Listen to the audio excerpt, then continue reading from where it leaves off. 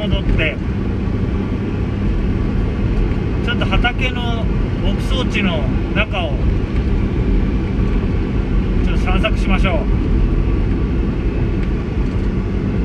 ちょっと思ったよりも車通りがまあ日曜日だし多いんでしょうね。なので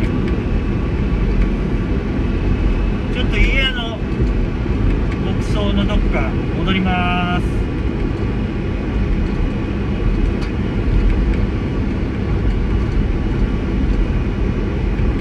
ちなみにこの着てる服はうちの両親がなんか用意してくれたオーバーオールつなぎとあ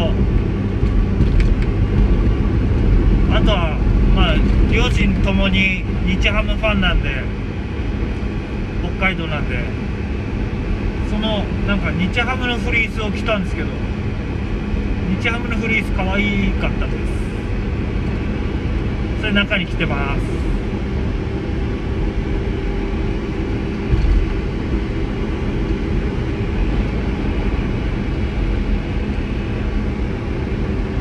非常に走りやすいです。やっぱ、ね、車通りが多いっつっても少ないですから。